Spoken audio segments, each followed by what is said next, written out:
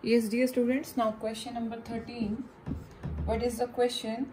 A floor is 6.5 meter long and 4 meter wide. So it's a rectangular floor.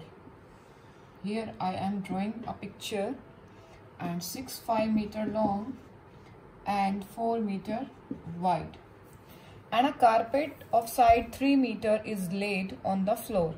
So they are just here spreading the rect square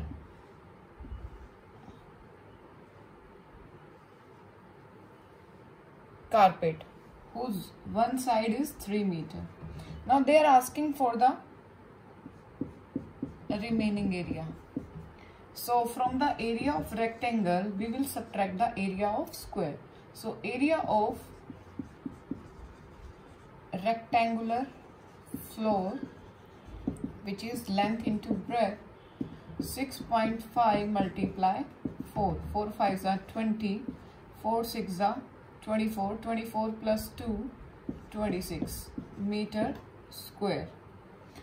And area of carpet which is in square form side into side. 4 into 4 16 meter square. So 4 5 are 20 4 6 are 24 24 and 2 26 okay now area of remaining floor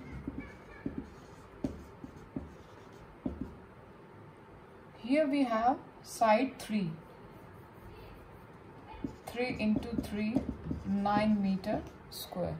So area of remaining floor 26 minus 9 which is 16 minus 9 7 and 17 meter square. I am explaining again so listen to me carefully.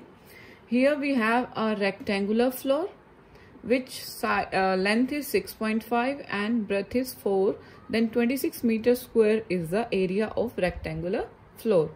In this rectangular floor we are just laid the square carpet whose side is 3 meter. So area of the carpet is 3 into 3 9 so we have to find out the remaining area where we do not spreading the carpet so 26 minus 9, 17 meter square. Okay.